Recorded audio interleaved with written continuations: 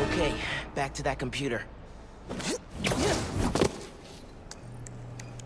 If I can find Finn's phone, maybe I can understand what happened to Rick and why she became the Tinkerer. There, got a location.